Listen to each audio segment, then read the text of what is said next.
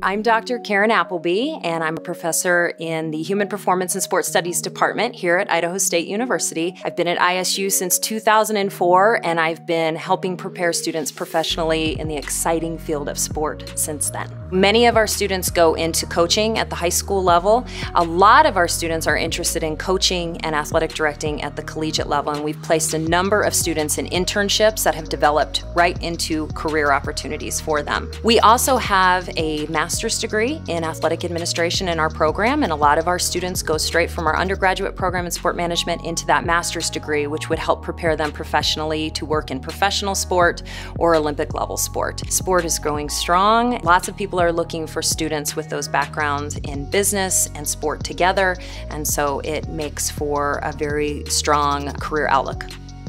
You don't have to have been an athlete to be great as a sport manager. You could have, you know, just have a high interest in sport. But one of the things that you need to be able to do well in our field is work well with others as a team player, because we do lots of group projects, and you also have to communicate very well. So you don't have to have been an athlete, you don't even have to have played sports. But if you enjoy sports, you like the business side of sports, you like working with people, you like working on teams, this would be a great field for you.